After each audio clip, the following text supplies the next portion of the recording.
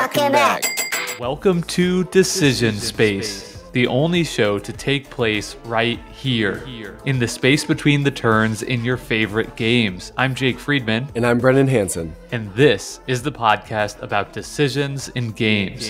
And on today's episode, we're talking our Geekway to the West experience. We're going to talk in the first half of the episode about the many, many games we played, give you a quick rundown of what it was like for Jake and I to meet in person after all these years, talk about some of the Decisionauts who showed up and played over 20 games with us. But then we're going to pivot and kind of just talk about large group games. So we'll talk about Blood on the Clocktower, Challengers, a game we played with eight that was recently nominated for the Kinderspiel des Jahres, and Guards of Atlantis 2, a game that's going crazy right now with another Gamefound crowdsourcing campaign that's a MOBA that Jake and I, I don't think we expected to play, but we did. So we want to give some more room for those coverage of those games to really breathe. Yeah, and then a lot of the other games we covered, I think what you're trying to say is that the ones we touch on briefly here, there'll still be opportunities in future episodes where we can go a bit deeper in our experiences with them. Um, but Brendan, before we talk about the games we played, maybe we should talk about what it was like for us to meet in person for the very first time after over two years of creating this podcast together. Yeah, it's wild. This is episode 122 of Decision Space, right? Or is it episode 121? It's 121 or Don't 122. ask me that. That's not yeah, my that's a, that's a question for me. um, it's 121 or 122, but regardless, 120 episodes over two years of our life collaborating on a show, having never met in person. I would say meeting in person, meeting Jake far exceeded my expectations in every way, shape, and form. Jake was an incredible host. That's good. That's that means my strategy of keeping expectations low was successful. You succeeded. You succeeded. Well played. no, no, no. My ex- expectations were high, and you guys, uh, you guys crushed them. Jake and Bridget opened their home to me, and it was lovely. I'll also say, Jake, you know, there was a latent fear. What if Jake was terrible to play games with on the table or something? right.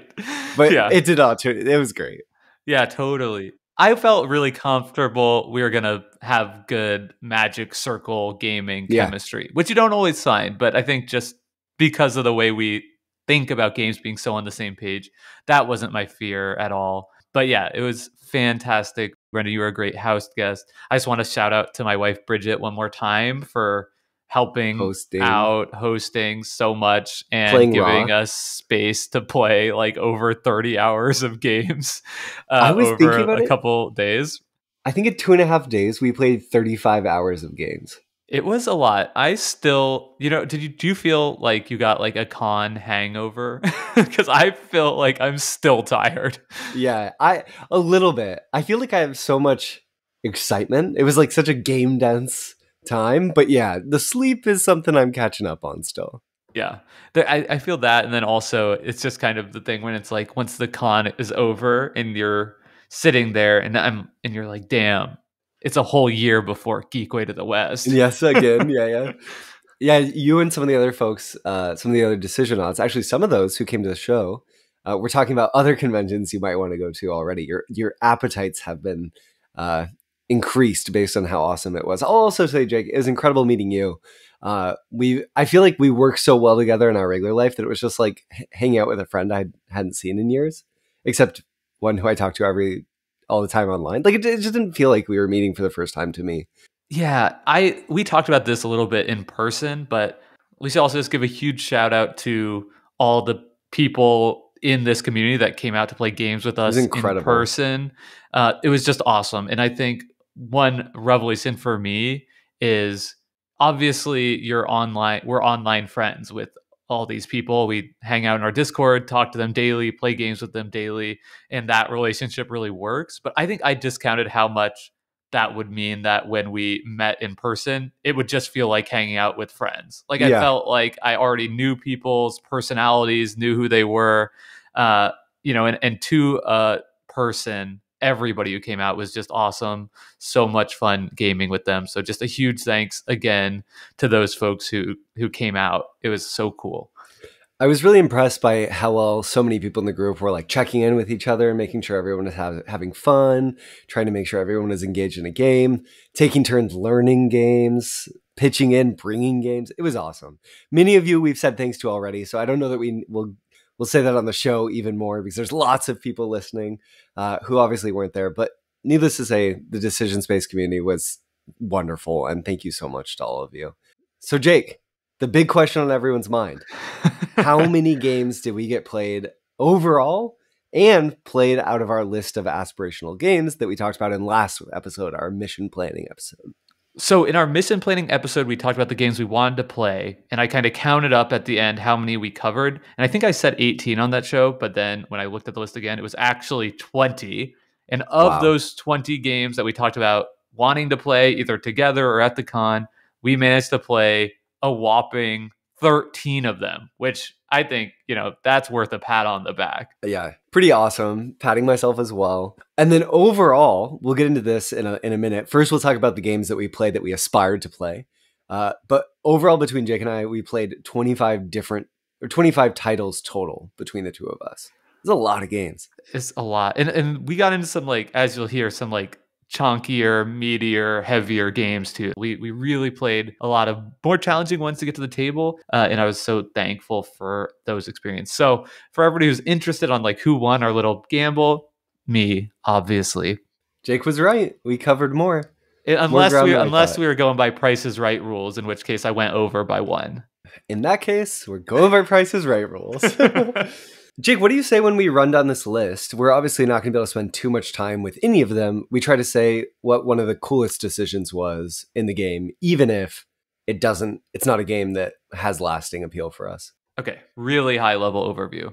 So, for example, one of the first games we played at the con was Bamboo, uh, a game that Jake was really excited to play. That's a spatial puzzle Euro game with lots of different mechanisms going on. I would say it's sort of this like kitchen sink style game that tries to pack a lot into a small package. It's from Devir Games, who published Bitoku last year. They also did the presentation, they published Millefiori, the Knizia game with beautiful presentation. And at its heart is this spatial puzzle where you're trying to have balance on the tiles you add to the left side of your home and the right.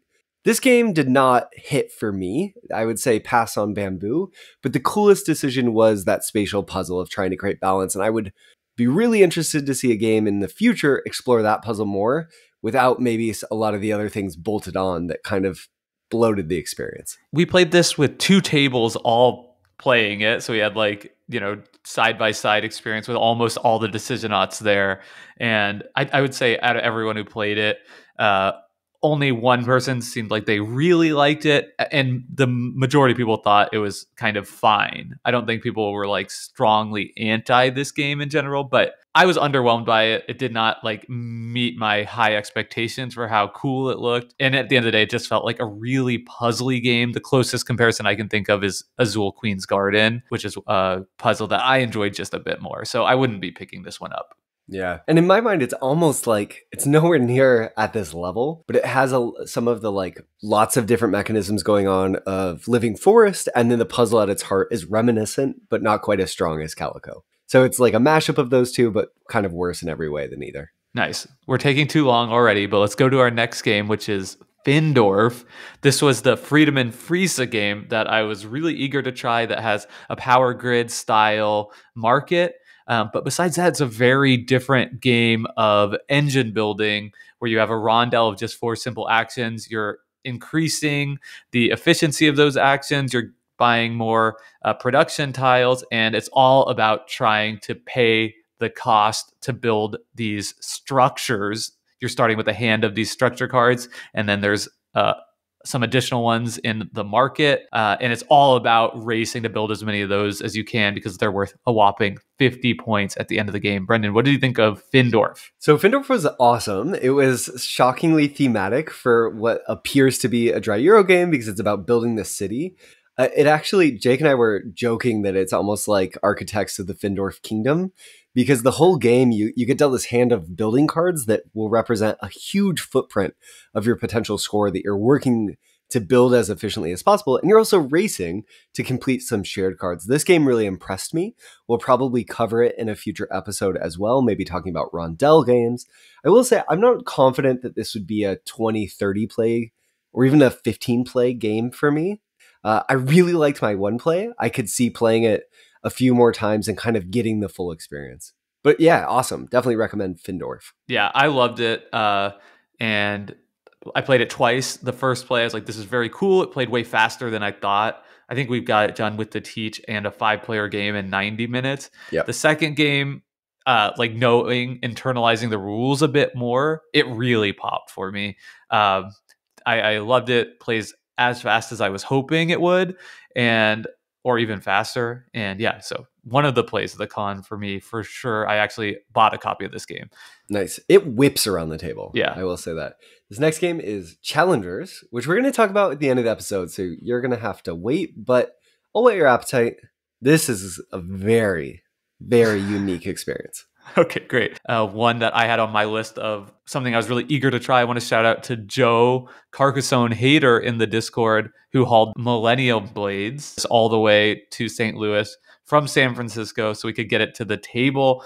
Um, I would describe, if, if you don't know about Millennium Blades, it's essentially a collectible card game tournament competitive simulator in a box uh, that plays out over two phases. One phase where you're collecting cards for your your collection and building decks and then a phase where you use the deck that you built in kind of a tableau building style tournament. What I would say about Millennium Blades is I love everything about this game except for the gameplay. The theme of the game, fantastic. The ambition of the game, incredible. The amount of content you get in the box. Like so many level 99 games, it feels like a toy that you can really cultivate whatever experience you want out of it very easily just because you have so many toys to play with.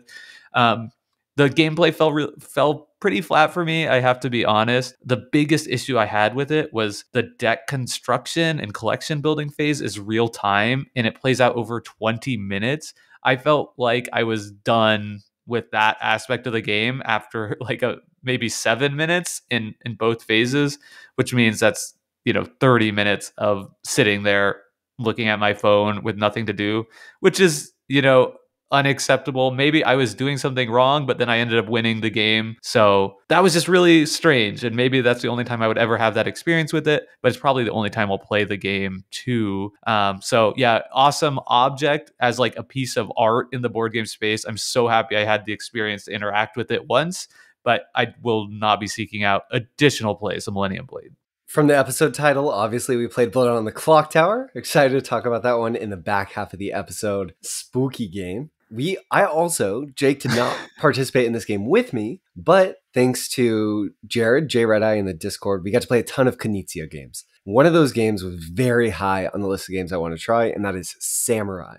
Uh, Samurai is a tile laying game by Knizia that's maybe perfect at three, based on a really neat scoring mechanism. You're spending the game trying to collect these three types of resources, and to qualify for winning the game, you have to have the most of one of them. If you do, your score is the other two of the resources combined.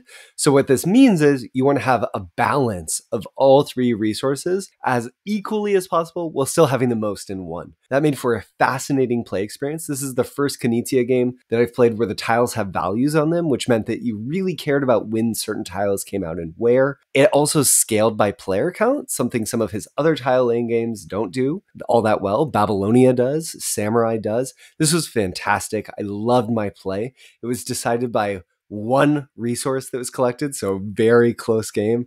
And I'd be thrilled to play it again. Some really novel little twists uh, with the tiles that made this one interesting, engaging, and nuanced, and made me feel like there's room in a collection for this and a lot of the other tiling games that it inspired. I was sitting next to you as you played this, and the board presence of it is awesome. It looks so cool and striking compared to others in the Knizia tile placement collection of games. This was the uh, Fantasy Flight version of the game that has beautiful cast, like 3D pieces for yeah, the resources. We love minis on Decision Space. We're pro mini, uh, as you'll hear. Next up was Imperial 2030, another one that I was dying to try. I uh, picked up a copy of this game, Ding and Dent, and have been staring at it, waiting for it to get to the table for some months now. Uh, in Imperial 2030, it is a risk looking game but instead of playing as the country, you're playing as the a, a seedy capitalist pulling the strings of the world. So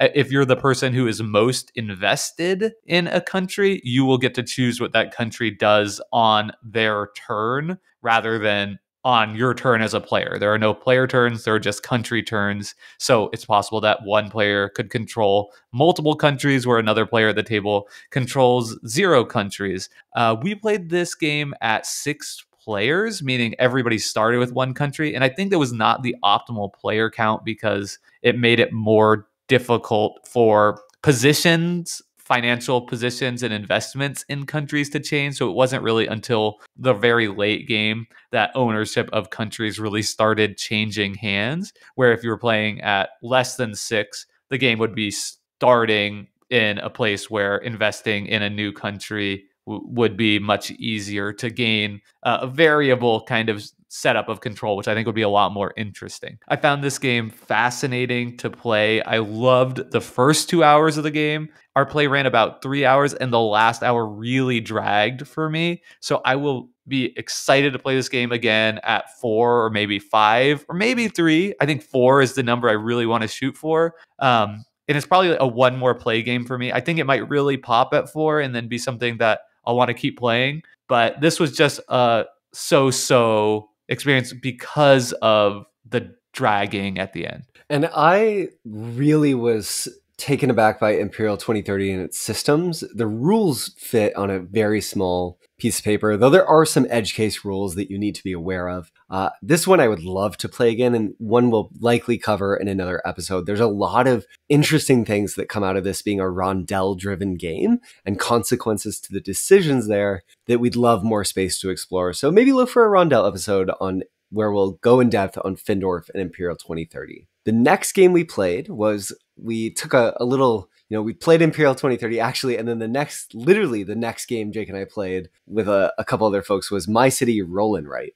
Jake and I obviously huge fans of My City. My City Roll and Write was clever, it was cute, and it brought not a ton new to the table from the little bit that we examined and saw, but a really faithful adaptation of the tile laying game in dice form, and it changes the puzzle as it because it adds a little bit more uncertainty. This is not one I'll pick up new. If I saw it uh, for on sale for a little bit cheaper, I wouldn't hesitate to snag it and play some games. Really neat little game. I was a bit underwhelmed by it too, but it's difficult to judge since we just played one random yep. episode. Like we played like the third game out of 12 or however many is in this little campaign. Um so so one of the earlier ones. So maybe just because of our experience with my city and and it just didn't really pop, but it was cool. It was a fun palate cleanser. But yeah, again, I, I'm with you. I'm not gonna rush out and buy a copy right away. Next up on the list was a game we played our first night when you came into town. We checked out the Pokemon trading card game. So as we talked in our planning episode, you you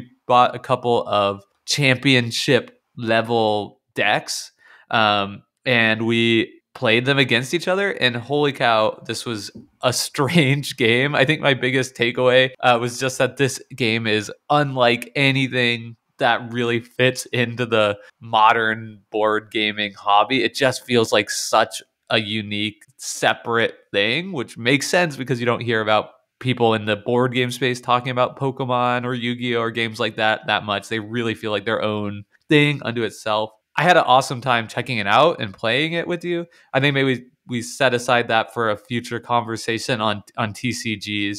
Uh, but yeah, what a weird introduction to a strange game. Yeah. Tutor effects and draw effects galore. Another game I got to play, which I was really thrilled about, was a game in my top 10 Monolith Arena. This is a tile laying area, like hex based combat game for two. Played this with Richard and had a great time. I, it made me realize though, Jake, we didn't get to play it together, which was lamentable, maybe for the future. But one thing about conventions is two player games in a convention environment, if you're there with a larger group, can be a little bit of a tougher sell, I think. It's hard to justify a little bit of side time. And I think while we were playing, this is a puzzly little game that requires a lot of focus. Uh, and I think I, I was feeling like, oh, I really want to play Monolith, but maybe this isn't the right setting for it. Um, so that was a, a nice little lesson learned uh, about myself and my taste. Also, we had a unique position in that we were really trying to play games with people from Lots the people. Discord, where yeah. if we had just showed up at a random con as just The two of us. attendees. Like like I've gone to cons with my wife and we just played two player games the whole time and it's awesome. You know. Yeah, So we just had a unique dynamic that we were there as much for them as we were for the games. Yeah. We also, Jake and I snuck in a game of Solforge Fusion, a game Jake has talked about on the podcast before.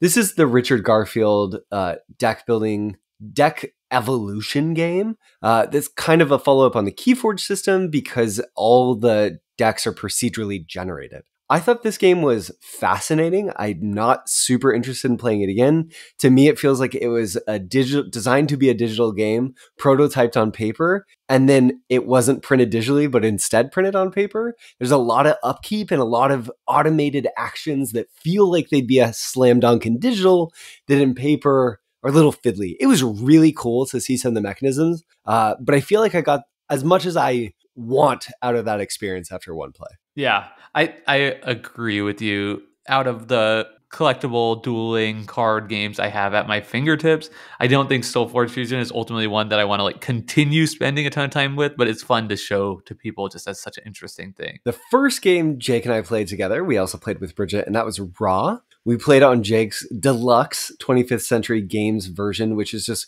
gorgeous, way overproduced with beautiful wood tiles, thick tokens made of chunky wood as well, and some metal coins, all in a box that's probably a little too big for the game it contains. But despite that, the game is so wonderful. It justifies it better than almost any other game might. I was looking at some versions of on the secondary market of this deluxe version just because it's so beautiful. I loved Ra Jake. Thank you for showing it to me. I want to play this game more. The mechanism of uh, you are bidding in set domination denominations of money, but also bidding on future money that you'll use when you're bidding on tiles. It's just so such a perfect twist, and it feels like a game that's just resolute and interesting and deserves more of a conversation every play I've had of that copy that I got has been fun. So it just feels like it's deserving that treatment that it got more and more. You know, Yep. I think I had my third favorite game, and it's just another awesome play of it. So stick in there for now. We then played Babylonia, Brendan's favorite game of all time. This was such a special play for me because uh, after meeting my wife for lunch, we played Babylonia. We also played with Beer for Dad on the Discord. It was so fun to play this game. Brendan taught it to me. The thing about Ra, and I think Babylonia too, is when you play a legendary design by Reiner Knizia, a legendary designer, they almost always feel like they're both less and more than what you think. You know, it's Babylonia is such a slight game. You know, the rules teach was simple. We learned and played it and set it up and tore it down in under an hour, I'm sure. It was really fun. I smoked everyone at it, so that made it pretty cool. Uh, I don't know. I don't know what else to say about it. You know, I don't know that it was my favorite play of the whole convention, but it was definitely good enough that I would be eager to play it again. And I think that's kind of the way that these games go. Is it's like at the end of the play, you're like, I'd play that again, and then I'd play that again, and then slowly but surely it it keeps creeping up on you. And I, I could see that happening for me as well as it's happened for you. So those were the 13 games that we covered from our list. Uh, I will say, Jake, congratulations on being correct. Um, I have some other numbers that I want to mention that might be of interest to people. We played eight Knizia games. Uh, so among that list, Modern Art, which Jake actually played on real paintings, Babylonia, Ross, and Samurai, which we've already mentioned. Tower of Babel, I got a play of this game in. It was fascinating. Not going to go more in depth than it here, but if you've heard whispers of hype, I come down on the side of this is a neat one. You should check it out. This played Rapido, Escalation, and then of course My City Roll and Write, which we mentioned. Jake, you know, there's a, we've covered a lot of Knizia games this year. Yeah. At some point, I think there's probably room for us to do a little, little, little checkup with the doctor, talk about some of these games maybe slightly more in depth, and just our thoughts Definitely. overall on where we're at. Uh, so now that oh, we also played two plays of Zoo Vadis, the new game from Bitewing Games. That's an update of Quo Vadis, uh, rethemed with animals, and I would say really it's a it's a new game. They've added unique player powers. They've added new mechanisms with these neutral peacocks that you can move. I haven't played the original, but I've I've seen the changes and they're they're pretty robust and give you a lot more room to work. This game we'll talk about if we do one of those follow up episodes some more. But I will say phenomenal experience with zany outcomes. These two plays were some of the most memorable of the convention for me. for sure. This game is insane. A very, very crazy experience. Fun, but also frustrating. Uh, yeah, I think we need to talk about this more in depth in another episode because we're already running long. I think so too. Let's save it. Okay, so we played eight new releases, five card games, all of which we mentioned, except we also played Mindbug, kind of an interesting little game. Four games released before the year 2000, including Tikal, which was one of two Kiesling games we played. Jake also played Heaven and Ale. I think, you know, in the same way we we probably want to do a checkup with the doctor, probably time for us to do an episode on Kiesling games and Kramer and Ke- slash and Kiesling games at some point on the show. We've both played quite a few of them now. I'm really interested based on the Tikal play to play Cuzco and Mexico. Uh, I've been looking to pick those up on the secondary, and I think they deserve more of an exploration. But Tikal Jake, that for me, I'm going to say if it's not my play of the con, it's close. I loved that experience, and I'm looking forward to talking about it more on the show. Yeah, absolutely. We also played three Rondel games Imperial 2030, Findorff, Heaven and Ale, one dexterity game, Crokinole.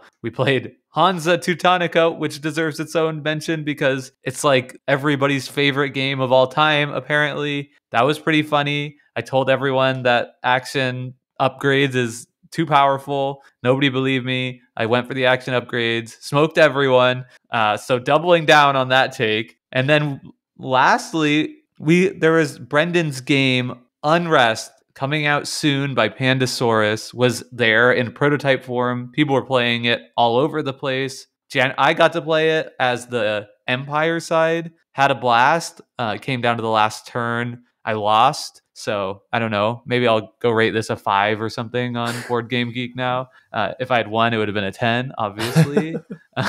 but yeah, I, it was cool just for me on the side to see people playing this and giving you feedback. And it really seemed like people were genuinely having a great time with it.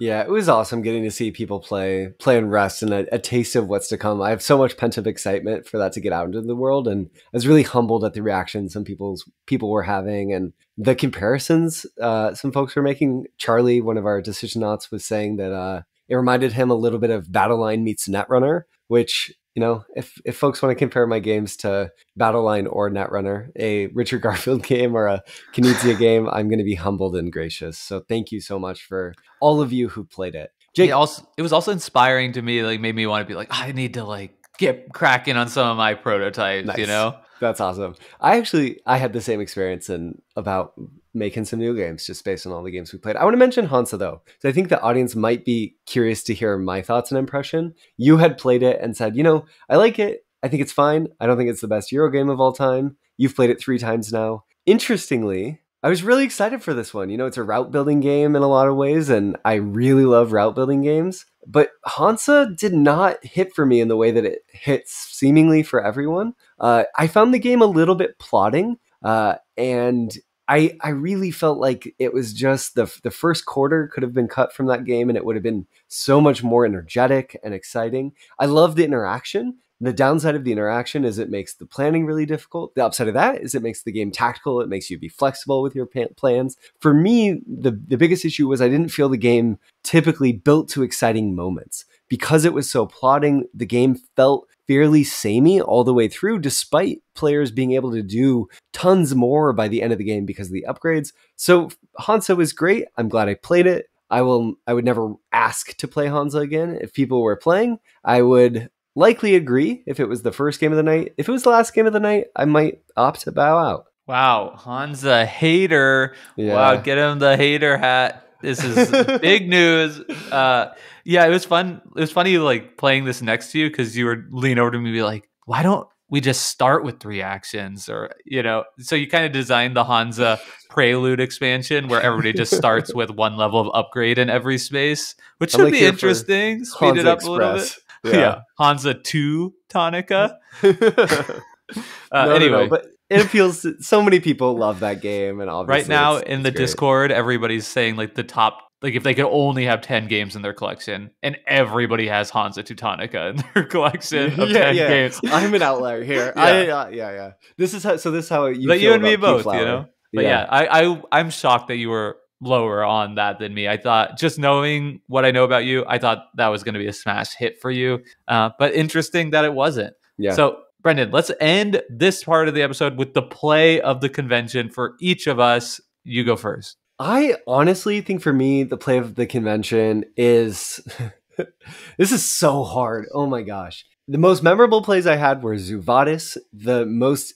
intriguing play I had was Samurai. And the game I most made me uh, that I can't stop thinking about is Tikal. Okay, but what was your play of the convention? A single play. Why are you gonna make me do that? Because um, you wrote these notes. I'm just yeah. reading your question that you wrote on the. You know, the I'm gonna go with challengers actually, and we'll talk about it more in the second half of the show. Awesome. I'm also gonna go with challengers. How about that? We Let's synced up it. on our play of the convention. Uh, my honorary mention might be that play of Keyforge, and then the yeah. second play of Findorff I had, where everything was popping. Um, but yeah, going with challengers too. All right, join us on the other side as we break down big player count games, large player count games that we played at this convention.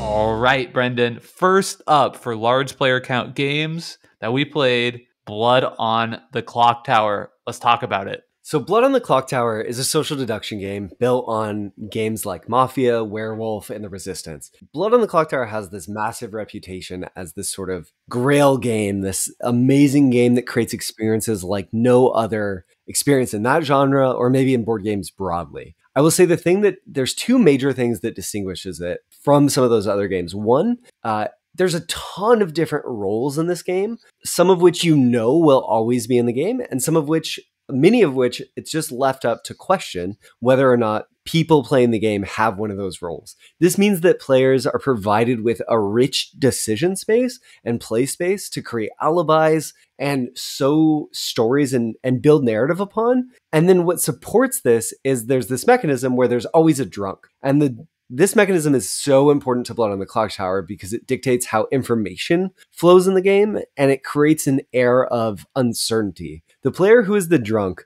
true, thinks and believes, because they are told by the moderator, which Blood on the Clock, Clocktower needs to run and work successfully, that they are a certain character. But they are not that character. They're provided with all the information as if they were that character, but that information will not be correct. This means that they can make claims they can assert truths that they fully believe. They are not acting. They truly believe they are given character. Uh, it's always maybe in the back of their head and everyone at the in the game that they might be the drunk. Uh, you just so, know anybody who says anything about anything. their role, it's possible they could be the drunk. So it's like sort of this penumbra of like misinformation that just clouds all conversations because you kind of have to end be like, unless I'm the drunk, in which case this is all wrong which is really interesting because it makes it a game about tugging on strings of information, trying to suss out what might be right. Uh, every night, like in in a game of Mafia, uh, the evil player, the imp, the main evil player that you're trying to cast out of your town is going to kill one of the villagers. So if you provide too much information, you show your hand that you are a good person because they don't even have information of everyone who's on their team. You know, you put a target on your back. But at the same time, if you don't fess up, you don't share, uh, there's not going to be enough information to solve that problem. And I found the core tension of the game really impressive. Uh, there was this driving sense of we have to make a decision that compelled you to converse uh, and and to squeeze into conversations. And also because of the size, it's one of the first social deduction games that I've played where you were really encouraged to have side conversations. I walked away from the group a couple of times to talk to people, which was fun and interesting. And then kind of felt like, am I being pulled away from the group to like be spun a lie away from other people such that I'm going to be shivved for trusting? I don't think it was because of the larger player count. I mean, we only played this with eight or nine people. Yeah. So I've played games of the resistance with that many players, and and it doesn't lead to side conversations.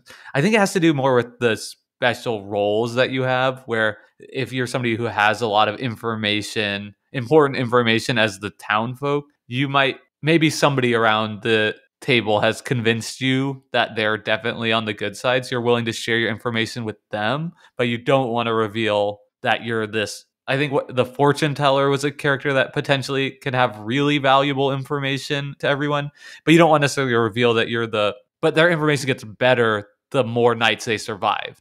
And you don't want to reveal that you're the fortune teller early on. So you don't want to. So we had this experience where the first time we played this game, just trying to like understand how to play this as a town folk, I had this brilliant idea where it's like, let's just all go around the table and say what our role is, thinking that that's going to make the evil people really uncomfortable and, and force them to lie. Which, if I was on the evil team, that would make me uncomfortable. So I said, my role, honestly, we started going around and then we got to Jared and he's like, I don't feel comfortable sharing my role. So you're just going to have to trust me that I'm a good person. And it ended up being that he was the fortune teller. And because that's such a high value position, he didn't want to put that target on his back. But then it ended up making everybody suspicious of him because he wouldn't share his role. So that type of thing really fascinating. It just gives you more more threads to pull to suss out and deduce who's good and who's not. Yeah. Jake and I are both really big fans of the resistance and maybe have the unpopular or uncommon opinion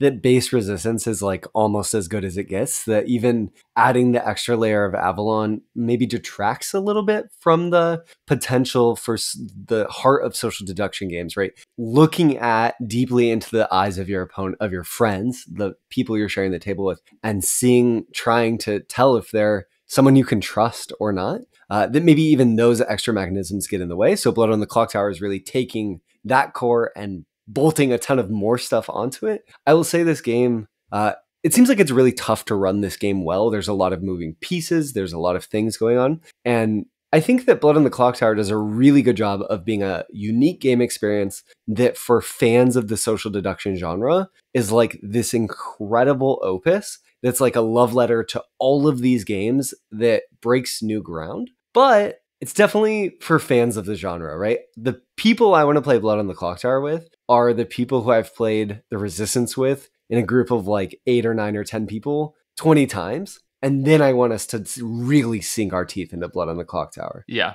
I, I agree. I, I love that this is a heavier social deduction game. I think that's something that definitely has space in the market. And I like this more than a heavy, complicated board game that has social deduction thrown onto it, like something sure. like Nemesis, right? Where it's like, or uh, Dead of Winter, where it's sort of like, oh, but maybe somebody's working against us. Like this is a pure social deduction game that has weight through roles, and that was cool. And to your point about enjoying the pure social deduction game, one thing I liked about this experience was uh, how much that looking at people trying to figure out who's lying who's not is still so core to the experience. Yes. like there was at one point we were voting on people and i was a good person so i'm not trying to throw somebody off and i said i think steve is one of the evil players. I don't have any information through like the game mechanics that points me to that but i'm watching him play and i think he's playing like uh, somebody who's on the evil team, and that ended up being right, and that made me happy that you know that is still a core part of this game. I think the biggest downside to this game is that it's just fiddly. To talk about our experience, we had two false starts where somebody fundamentally misunderstood or misheard a rule. I think the first time we were doing roles, somebody couldn't see the moderator when the moderator was giving them their information, so had basically no choice but to say, "I'm so sorry." like I don't know, you know, you're you're giving me this information, but we kind of have to restart. And then the second time, so I, I don't remember, but something happened again where we had to restart. And the problem with that in this game is it's not like in the resistance where it says deal cards okay let's play it was like everybody has to pick out a role everybody has to give the role back to the moderator the moderator has to like position them so that he knows who is each role so you know we're talking like i don't know 10 minutes would you say to get it set up each time uh, and then the third play we had also had a big asterisk and this is kind of funny uh, the moderator accidentally gave false information to our fortune teller leading him to believe that one person could not have been the evil person, even though they were. And what had happened was that he was, you get this big grimoire book that is where you put the roles in. And he was walking around in the circle and not recognizing the fact that as he would rotate around the circle, he was changing the orientation of the book, uh, which caused him to, I guess, give false information. So our place kind of had this big asterisk on it, which to me points out just how delicate, easy for for things to go wrong. This game is, but even despite that, I still had more fun with this game than I expected. And I would absolutely if if somebody was, you know, an experienced host hosting a Blood on the Clocktower games like, I'm going to run this, we're going to play two or three games of this in the evening, I would sign up for that experience. Absolutely. And I think I'll just add to that two more things that I really admire about the game. One, there is elimination, like if you're playing a game of Mafia. But the neat thing about that is that the players who are eliminated become ghosts who can still listen to the conversation and they get to vote one time. So they can jump in at a, pivotal moment and still participate in the game, which was very interesting and novel and felt like a meaningful decision for them about when is the most pivotal moment for me to use my vote. The other thing is all these roles, you know, some of them are going to appear in, in the games and some aren't. And I think they create these real agencies, they're real tools for players to use uh, that made it really interesting. My role, I knew uh, that a specific evil role was in the game, and I knew one of two characters who was that role, which changed my whole perspective on the game and made me have to solve the puzzle of when to come forward with that information and and how to do that and I had a lot of fun with it. So I absolutely would love to play Blood on the Clocktower again. It's not my favorite social deduction game, uh, but I'd like to keep playing it. All right. Well, I think that's our experience with Blood on the Clocktower. Hopefully, that gives you some sense on if it would be a good game for you. Brendan, what do you say we jump down to the next big player count game that we played, which was Guards of Atlantis 2. Yeah, let's do it. Jake, do you want to give the overview or do you want me to? I can give the overview, but jump in when I don't say the important stuff.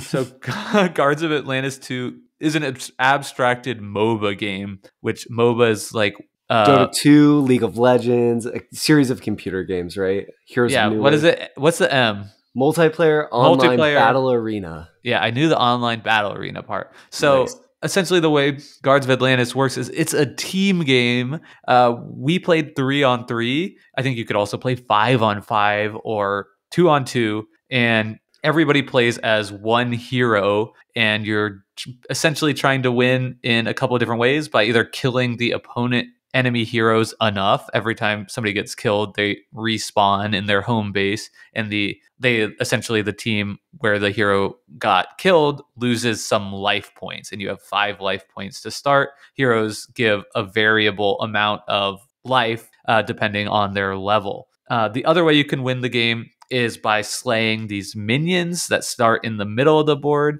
Uh, when when you um, you can kill a minion essentially with one hit uh, and whoever kills the minions that they're trying to kill first means that all the minions will get swept off the board and respawn closer to the enemy's base. Um, if you slay all the minions again, then in when they're in the close to the enemy base, then you'll win as the minions get pushed into the base, or the game ends after in the third I think like the third round of the game, the third minion push of the game, uh, in the sort of abbreviated version that we played. I think there's like kind of a short or a long version of Guardians of Atlantis. Whoever wins that final push wins the game.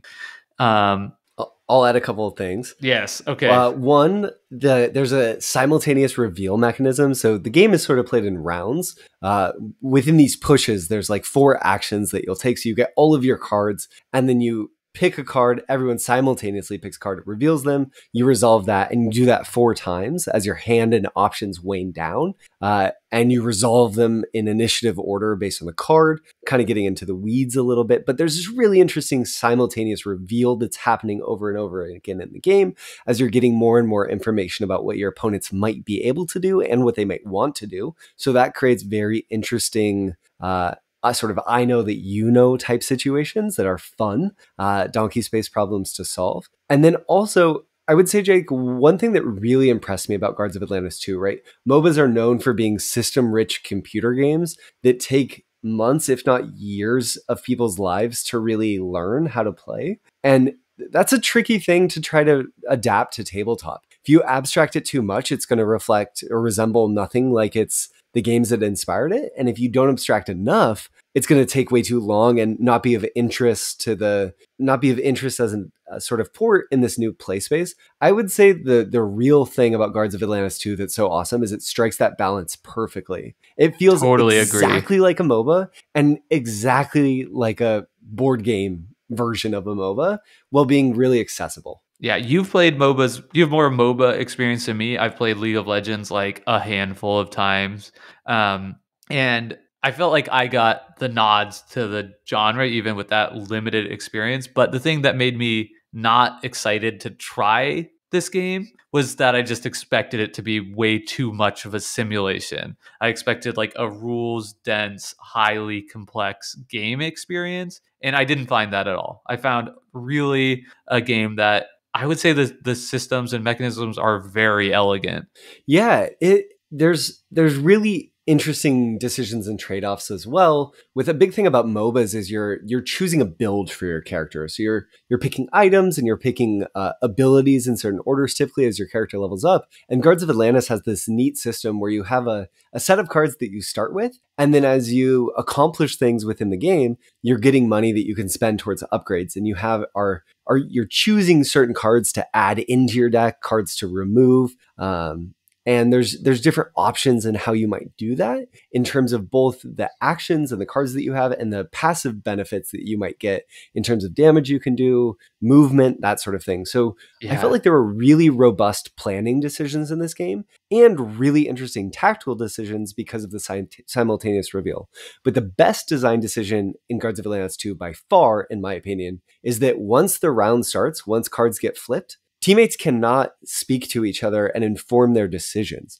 So it's kind of with that link communication restriction, simulating a real time game because you can all kind of talk and make a plan, cards get revealed, and then it's up to each player on the team to make a decision that they hope is best, uh, not knowing maybe exactly what their their teammates would like you to do, which is cool. It felt it kept the game moving, but it also it felt like a team game in that sense and we couldn't just sit there and ap solve the game together. We just had to be confident make a choice and, and live with it. Yeah cool. i really like that too. And you could you can discuss all you want in the planning phase where everyone's deciding which card they're going to play. But if you're like hey we're going to all go attack brendan now brendan knows that and he could choose a card that maybe allows him to run away or keep a really high defense card back in his hand Whereas, you know, maybe you just look at your teammate and raise your eyebrow and you're hoping, let's both go attack Brendan, you know? Um, so I thought that was really cool. And also, again, it's sort of something that simulates the games a little bit, I assume,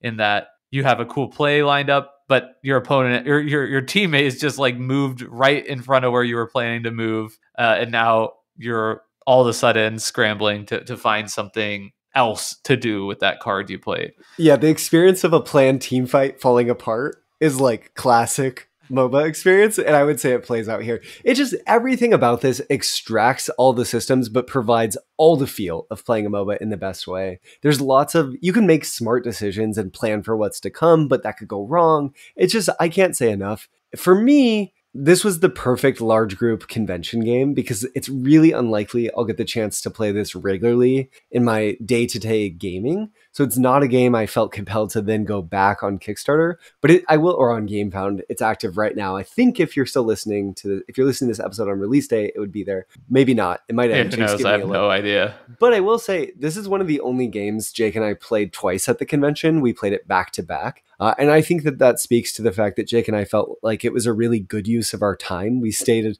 until the wee hours of the morning having a blast playing this. Yeah. Um, the second game was also I think much it better clicked. than the first game. It yeah, again, it was sort of a cl- clicked like the the first game, maybe as you would want or expect. Um, the team I was playing on was all new players. The team Brendan was on was the player who had the most experience by far of anyone in the game. The the uh, Charlie who, who he owned the played game. on his copy, uh, and they slaughtered us in the first round. And then the second round, we had a really fun competitive game where it felt like okay, now we're really playing this game there are some weird things about this game that I think, like Blood on the Clocktower, uh, this is a kind of a delicate game where you have to strike the magic circle just right. Um, I think the communication rules is like a good example of this. Like it would be so easy for a team who had played this multiple times to like, hey, if I wink, that means like we're attacking together. You know mm, what I mm, mean? Something like sure. that. And even something as slight as that, which could even just come up naturally if you're in game two or three playing with the same people, could really, I think, hamper the game experience. The other thing that's weird is players characters can do drastically different things. So you might go to attack a person and they have a card that's like, if you get attacked, cancel it and or you know if you get attacked by range cancel it and then the attacker has to like discard their card. Um, and a lot of those cards that would come out just kind of felt like a little bit anticlimactic right? If you're positioned yourself you've got your good attack ready to go uh, and then it's just kind of like well i didn't know that they could do that. Yeah. Uh, so that felt weird but at the same time i don't think the game would work at all if players were operating from perfect information of the cards in their opponent's hand. Uh, so it was just weird, right? It's like you want to know a little bit what your opposing enemies might be capable of, but you don't want players to be able to know exactly what they could do, right? Because the way the attacking works, I attack with damage six, then my opponent has to discard a card with block six or more, or else they die. Uh, so if you just knew what blocking somebody was capable of, all of a sudden the game is a lot less interesting and it becomes less a question of like, do I take this risk and more of like a calculation of I'll attack here and then they die for sure. And that's not nearly as exciting as the way we were playing it, though the way we were playing it left us led to some kind of feel bad anticlimactic moments. And then on top of that, then I think the for people who have played it more, it becomes what card are they going to play this round? Uh, one of the great design decisions about this game is that it's really it's really rewarding when a hero, with the characters you play, to be able to just kill one of the other characters on the other team. They'll respawn, they go back, they can get back in the game, but it gives your team a big benefit. And you want that big benefit because it will accelerate you in the game. But one of the best design decisions is it's very difficult to do that on your own. Heroes are fairly durable, but if two people team up, all of a sudden it becomes much more likely with any given push that you could kill a teammate. And then it becomes a question of opportunity cost around is that better to do or is it better to focus on uh, taking these minions off the board and getting the push to go in our direction? So there's a lot of good, good stuff going on here that's really interesting. And it shows why people uh, love and admire this game so much because the design really is durable enough to support uh, interesting and meaningful decisions. Yeah, I it's like a game you wish you had at an earlier part of your life, right? If I had this like us, in high yeah. school or undergrad, uh, and I could just you know had a core group of people and just like play this for Friday hours nights. and really like yep. learn it and stuff. That would be so fun. Uh, and also like there are so many heroes in the game that as soon as things start becoming too familiar, as somebody mentioned this in the Discord, you just switch, right? Now all of a sudden yeah. you're playing a different combination of heroes or different heroes entirely to kind of make sure you're maintaining that delicate magic circle that the game sort of demands that you're playing in. Um, and the last kind of really positive thing I'll say about this, the design aspect that impressed me the most, which I think just speaks to the really good development work that's been done with this game,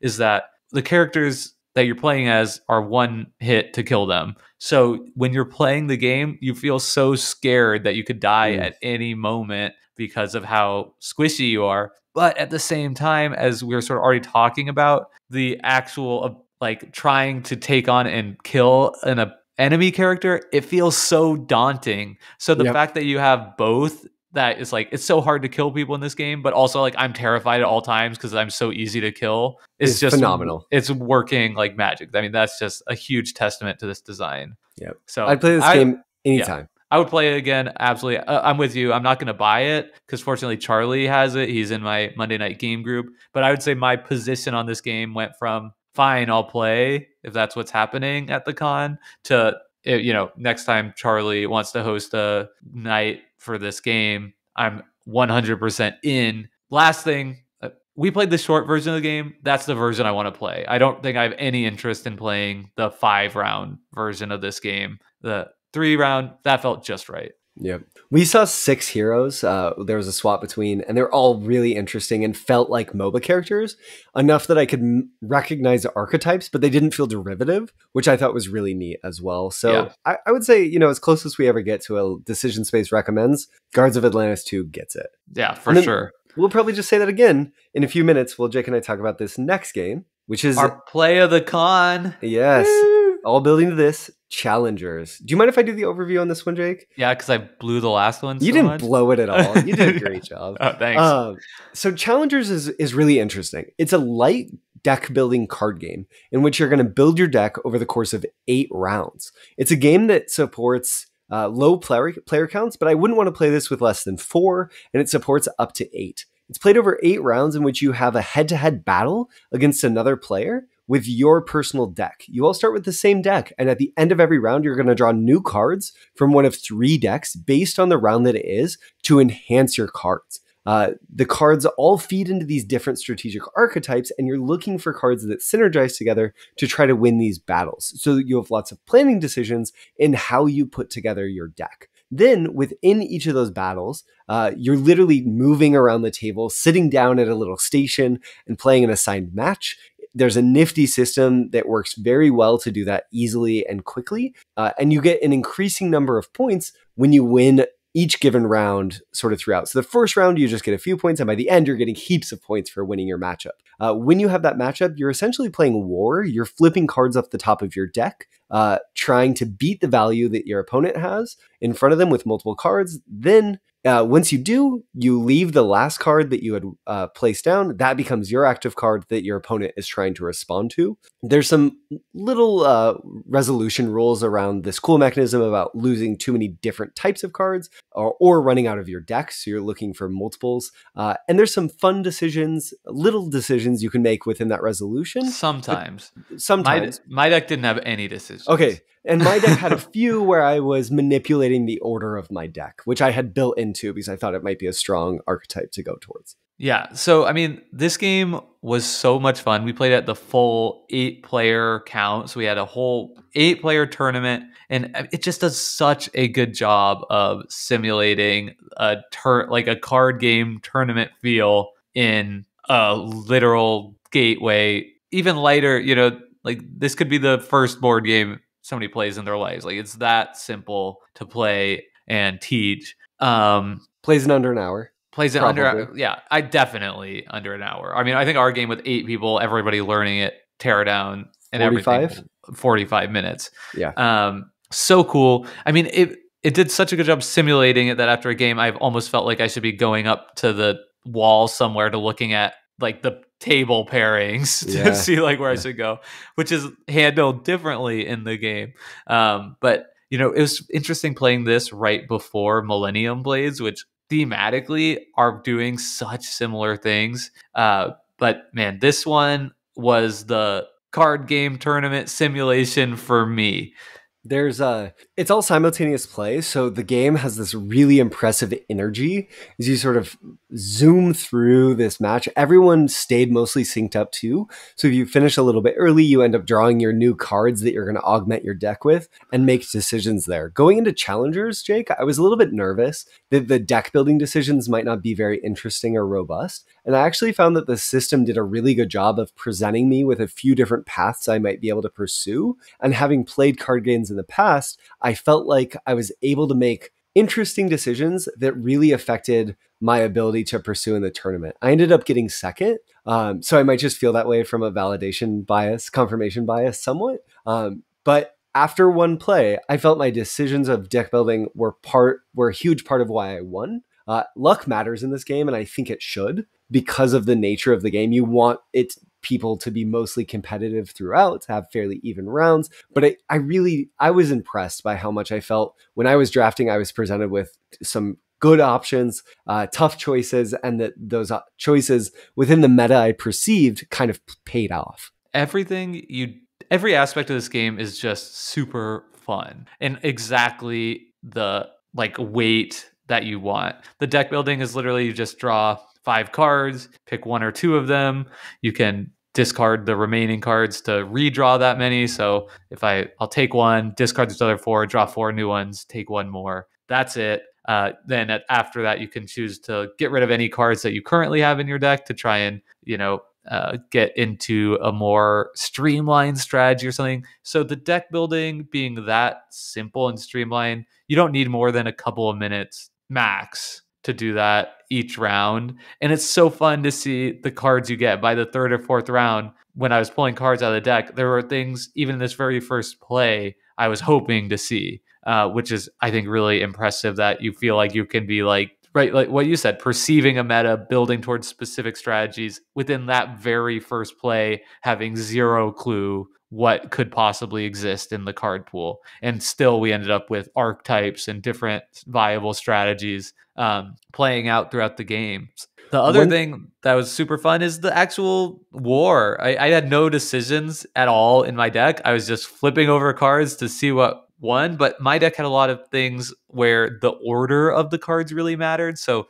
I had some powerful benefits by cards being on my bench. So after they're defeated, uh, they're powering up certain other cards in my deck. And then I had powerful effects for if this character is holding the flag, it gets some benefit. So I had cards that I really wanted to be the one that ultimately overtook my opponent's card to, to claim the flag. So my deck was just like even though I had no decisions in it, it, the power level of my deck was insanely variable. Where I could get, I lost to Jared, who sadly only won a single game. He beat me, and then in the last round, I beat the person who ended up winning the tournament. Like my deck was just like either on or off, and that was so fun to see play out. And these games play out in 90 seconds, maybe. Yeah, it's quick. I think another cool thing about this game, Jake, is in large group games in general, as we try to sort of bring things together, is I think one thing that I loved about challengers uh, was when I'm here, sort of playing my match, I'm in that mode, but I know lots of other things are happening around me, and that gives the game a sense of energy and it makes the game feel even bigger than it might be. When I finished, I, I loved jumping up and sort of seeing what was going on in other matches,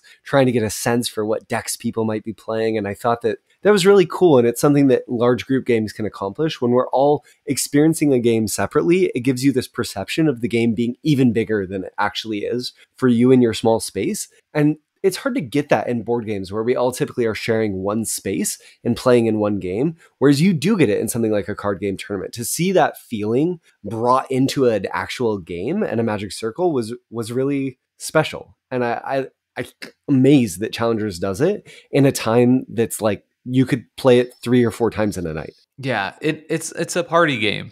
And, yeah, it's a party uh, game. You know, and I'm I know this doesn't fit with everybody who's listening to this podcast, but I feel like personally starved for games that I can play at seven or eight players. It, when I I have a core like you know board game enthusiast group now that meets, and we have you know a solid four or five people every week. But if I'm hosting a game night and I kind of put out the call to my larger group of friends who I know, you know, like games or not, I feel like I end up with one person coming over or like seven every time. And seven is such a pain because, especially if they're not like board game enthusiast type people, you're not going to like split into two groups. It's just not happening. So I love having high player count games available to me. And this is one that feels unlike any other party game that I've ever played. You know, it's a party game that feels like I'm going to a Magic the Gathering tournament, but a party game version of that. And I mean, that's just such a cool theme. It's just such a fun forward gaming experience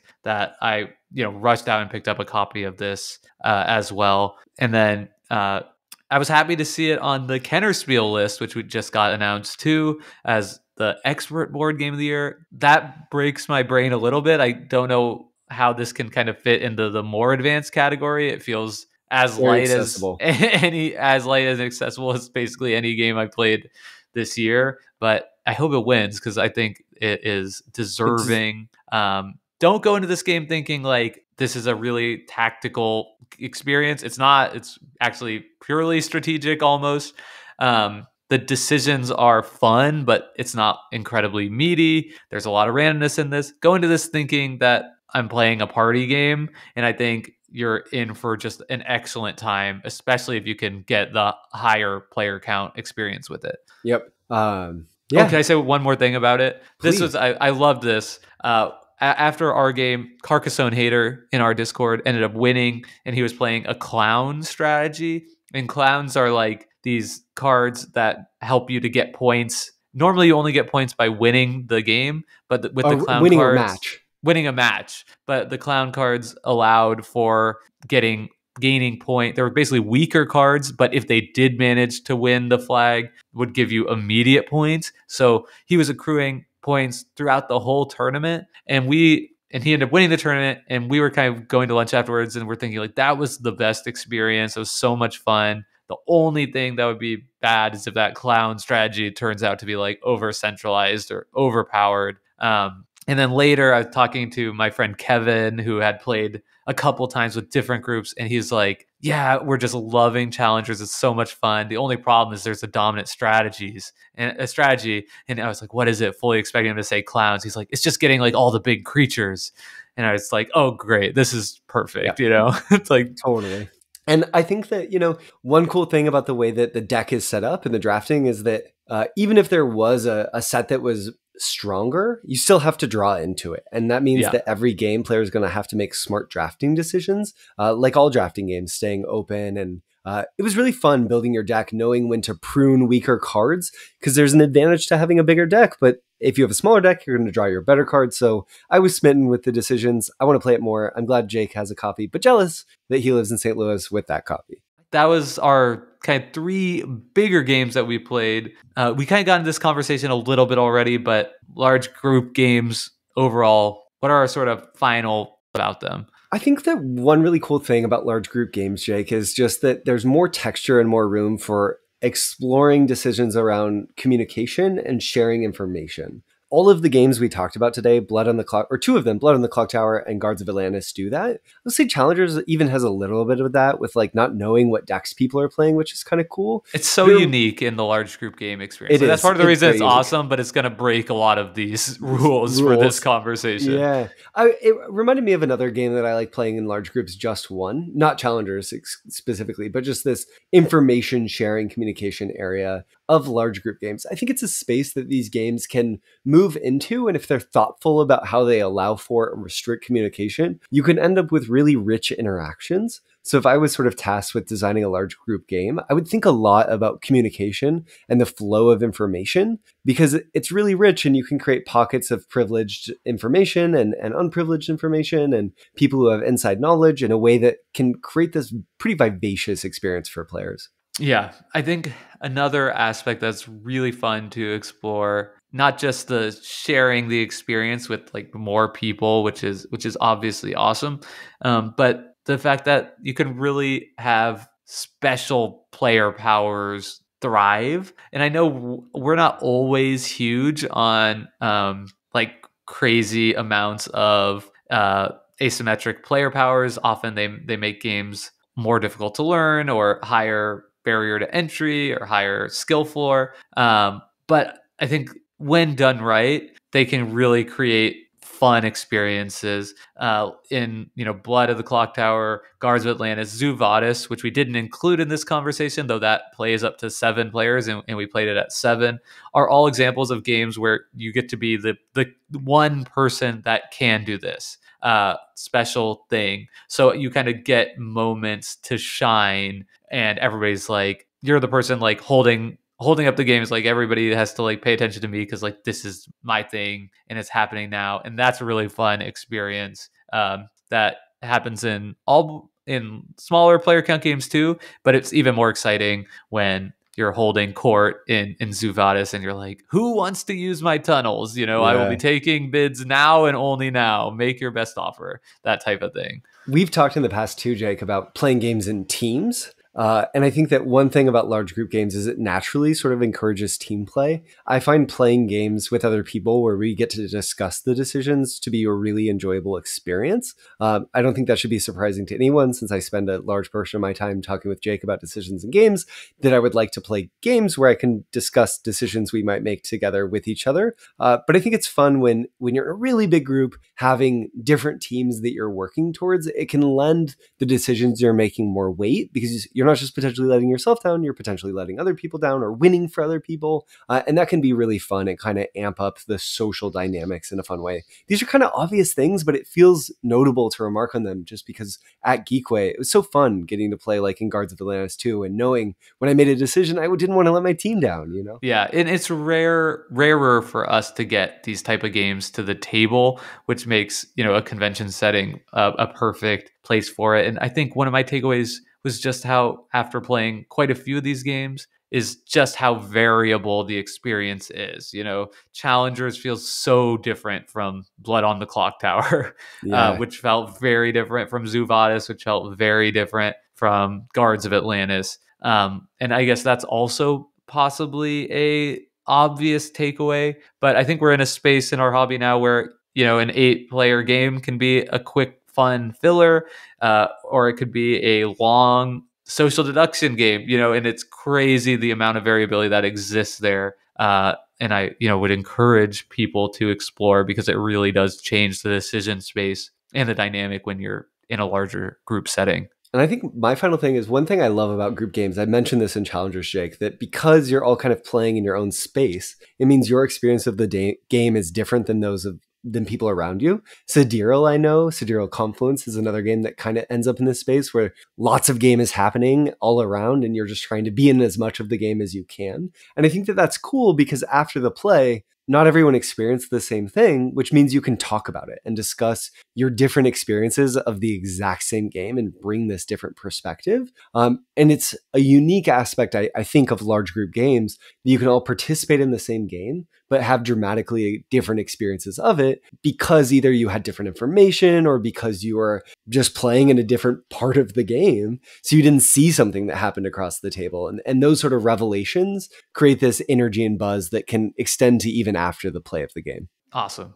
Well, we went a little bit long, but I think that brings us to the end of this week's episode, recapping Geekway, talking about large group games. Obviously, we talked played a way more games, which we gave our very brief review on that will be the opportunity to talk more about in the future. Uh, Brendan, thanks so much for coming to St. Louis. Thank you to everyone who attended Geekway, both inside our group and outside of it. Thank you to our patrons for making that possible. Uh, thanks, you know, so much thanks to our patrons for making that possible. Uh, if you want to join our patrons, we do have a Patreon page at patreon.com slash decision space. Uh, you can also help our show by leaving us a review. But until next time, thank you so much for listening to the Decision Space. We'll end as always by thanking Hembry for our intro and outro music. And until next week, say goodbye, y'all. Bye.